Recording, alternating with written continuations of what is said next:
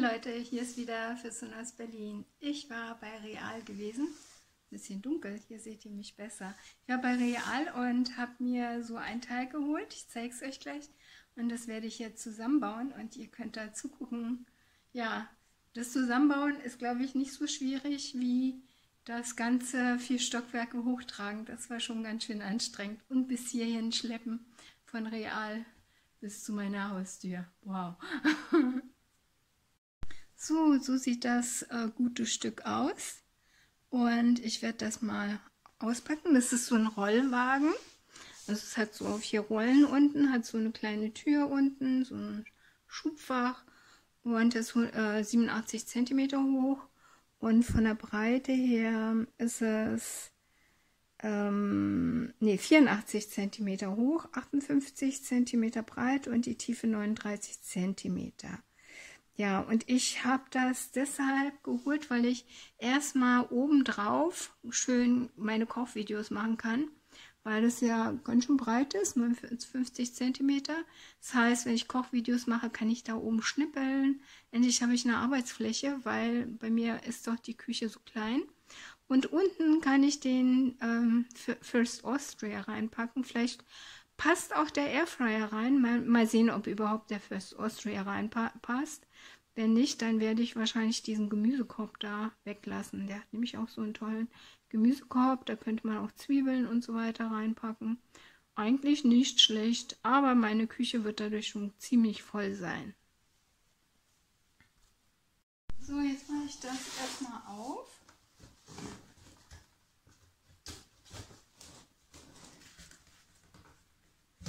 Ich hoffe, dass auch ganz ist, weil ich will echt nicht den ganzen Weg jetzt das tragen müssen.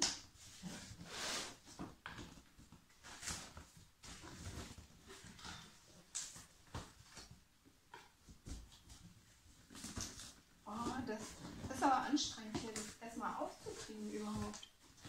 Oh my goodness.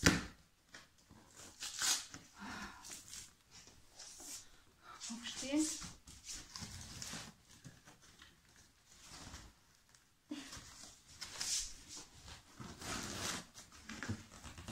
Da haben sie aber das richtig gut zugeklebt.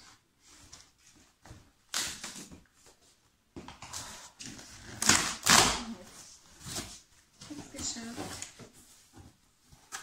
So.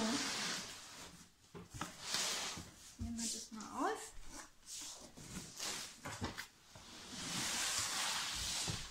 Uh.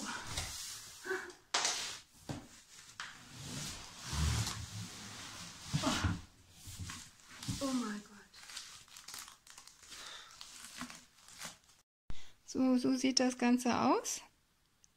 In so einer Hülle verpackt, damit das nicht kaputt geht. 10.000 Schrauben. Das sind die Rollen. Das sind die ganzen Schrauben. Ich hoffe, das ist nicht zu difficult. Okay. So. Hm. Oh, das muss ich erstmal aufschneiden hier. Hier, das geht. Ah, hier ist die Gebrauchsanleitung. Okay, sorgfältig lesen, für den späteren Gebrauch aufbewahren. Hm. Important. Okay.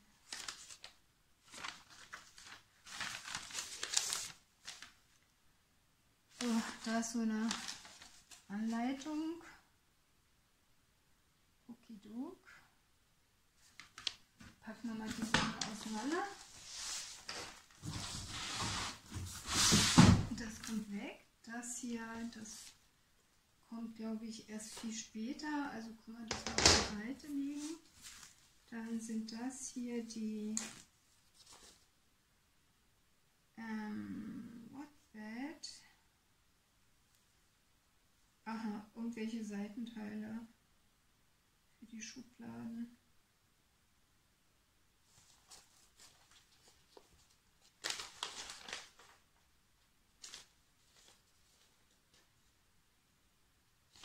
Okay.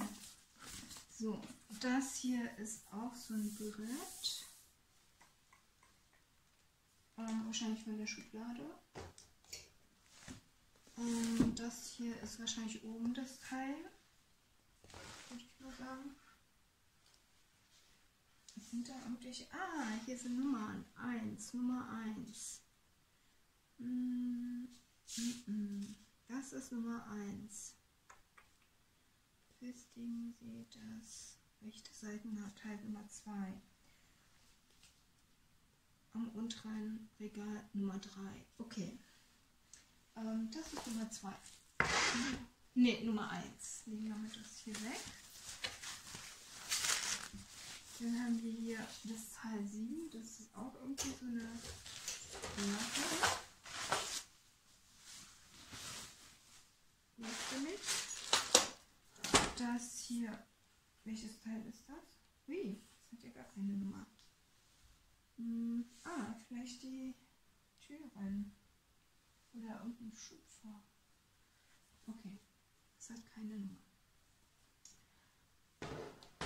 Wir erstmal hier rüber. Das ist hier alle die Tür. Oh, da sehe ich gerade, dass das doch sehr niedrig sein wird. Die Türen schon so klein sind.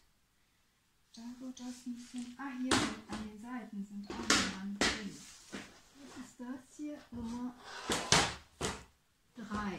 Das ist Nummer 3. Okay, da haben wir nochmal so ein Seitenfach. Nummer 3. Das ist auch 5.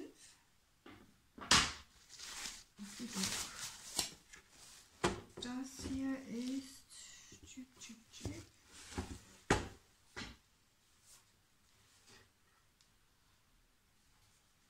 Auf jeden Fall eine Seite. Bei dem fehlt die Nummer. Diesmal wirklich. Jim. Einmal umdrehen. Ja, da ist keine Nummer. Aber das sind die Seiten. Egal. Ähm, die Seite. Und das ist hier auch nochmal so eine Seite. Und das sind. Ja, das ist auch nochmal so eine Seite. Okay. So, dann sollen wir das linke und das rechte Seitenteil am unteren Regal 3 ähm, befestigen. Okay, das war hier die 3, soweit ich mich erinnern kann. Genau. Welches jetzt äh, davon unten, welches oben? Sind beide gleich, glaube ich. Okay. Ähm, dann würde ich sagen, bup, bup, bup, dass das hier nach unten zeigt.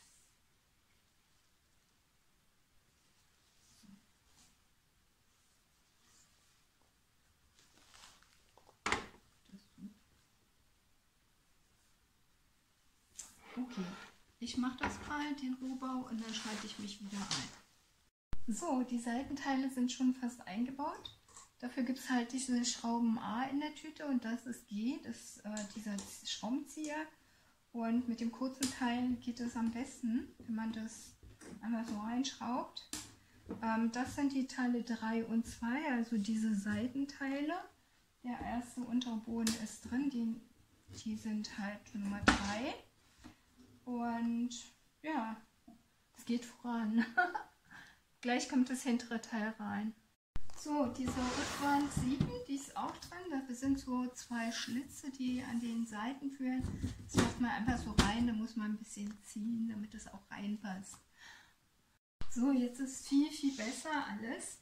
Ich habe ein bisschen Licht hier reinscheinen lassen mit der Softbox. Und man sieht ja auch, dass es jetzt schon ganz gut steht. Hier die Seitenwände, die sind, und das ist hier die Wand. Und jetzt mache ich weiter. Das ist gar nicht so schwer. Es geht eigentlich. Muss ich da nur ein bisschen einarbeiten. So, und jetzt soll hier dieses zweite Fach an den Seitenwänden verschraubt werden. Und dann nehmen wir auch wieder diese, diese A-Geschichten A-Schrauben. So, auch easy.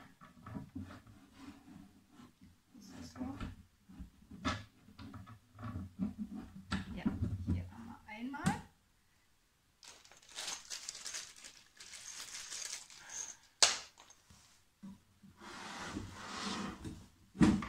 Hier das zweite.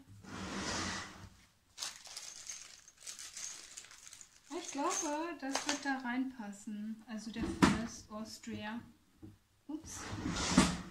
Da ist auch bei dem hier ein Schlitz, damit das hier auch reinpasst. Also mit der Seitenwand befestigt ist. Ah, das sieht total schön aus. So nice. Das gefällt mir.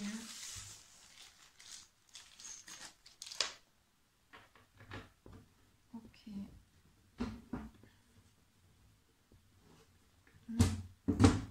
So.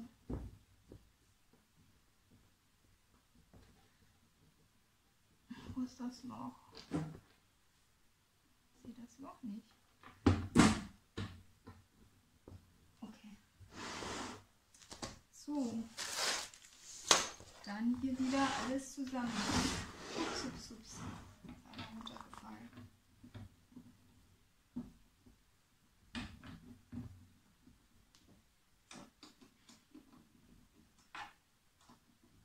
Das mache ich mal alleine. So, jetzt steht schon das ganze Gerüst. Das Gute ist, das passt alles wirklich zusammen. Da ist nichts irgendwie, was äh, vielleicht übersteht oder was nicht passend ist. Das gibt es sehr oft, wo Dinge nicht passen. Aber bei dem ist echt alles perfekt. Die Schrauben konnte man gut zusammenziehen. Alles bravo. So, und jetzt soll ich die Blende 1, das ist die hier, die soll ich ähm, oben befestigen. Ja. An den Seitenwänden zwei. Genau, hier, hier. Da soll das befestigt werden. Oh, da oben seht ihr das gar nicht. Dann packe ich euch mal nach oben. Hier. Ich habe eine Brille auf übrigens, weil ich ja sonst die Anleitung nicht lesen kann. Also hier sind Löcher und da soll das halt ran. Ich mache das mal. Okay, jetzt steht das Oberteil auch. Und jetzt soll ich ähm, irgendwo Magneten für die Türen hier befestigen. Muss ich erstmal schauen, wo der Magnet ist und wo ich das befestigen muss. Okay, also mir ist schon ein, der erste Fehler unterlaufen. Und zwar sind hier beide mit drei deklariert gewesen. Und aber dieser mittlere hier hat zwei Löcher gehabt. Das habe ich übersehen, aber auch nicht darauf geachtet. Ich wusste auch nicht, dass da ein Magnet rankommt. Und da musste ich jetzt alles wieder abschrauben. Aber ich habe nicht alles abgeschraubt. Ich habe das da oben dran gelassen, sondern die beiden habe ich abgeschraubt. Es ging auch die Reihenfolge, es war kein Problem. Und der Magnet muss auch hier mit dieser Rillenseite nach oben sein. Und man braucht so einen Schraubenzieher. Also wenn man den nicht hat, kann man auf keinen Fall das ähm, ja, zusammenschrauben, weil das Gewinde ähm, ist so eigenartig, also so ein Kreuzgewinde, wie hier, ups, wie hier. Und das geht nur mit so einem Schraubenzieher. Und mit dem, was drin ist, geht es nicht. Und ansonsten ist da auch noch einer, aber der würde da auch nicht passen. Okay. Nur, dass ihr Bescheid wisst, falls ihr den kauft. Ihr braucht so einen Schraubenzieher. So, wir sind jetzt bei den Rädern. Ähm, die müssen jetzt ähm, geschraubt werden und dann nehme ich halt immer so eine Mutter und einen Bolzen. Und die Mutter mache ich so, dass die nach innen zeigt. Das finde ich schöner. Aber ähm, wie es genau ist, da wird auch jetzt nicht gezeigt. Daher es ist euch überlassen. So, die Räder sind dran. Die waren eigentlich am einfachsten, aber waren auch ein bisschen tricky. Man muss da mit den beiden arbeiten, mit dem und dem. Mit dem muss man das, die Mutter festhalten, mit dem Schrauben, sonst ist das so Leerlauf gewesen.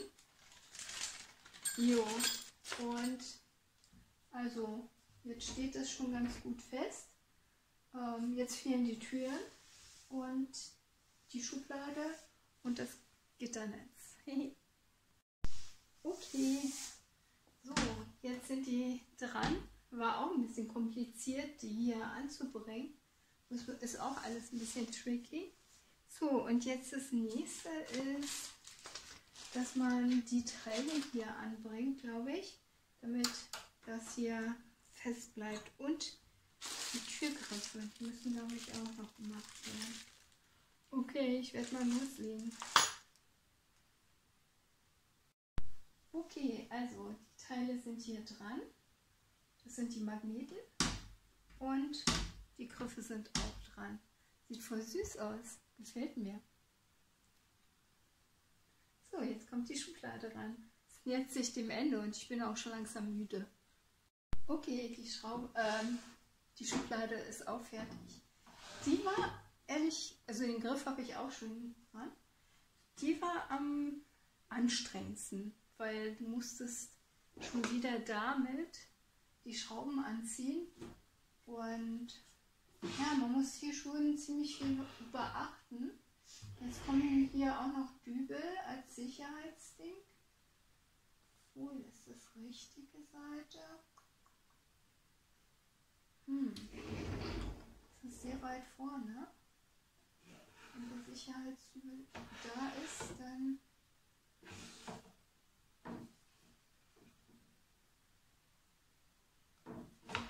dann kriege ich das gar nicht richtig auf und zu. Oh je, Mini, ich glaube, das hätte hier hinten sein müssen. Da muss ich auch schon wieder alles aufschrauben. Oh mein Gott. So, das gute Stück ist fertig. Hier habe ich, kann ich Obst reinmachen und hier sind die Sicherheitsstifte. Da ist auch eins irgendwie verkehrt herum, keine Ahnung. Ähm, jedenfalls die Dübel hier für die Schublade, die ziehe ich ja sowieso eh nicht so krass raus. Die mache ich irgendwann vielleicht anders, vielleicht morgen. Jetzt ist es schon so spät. Aber ich finde, dass es richtig toll ausschaut. Und hier ist Platz.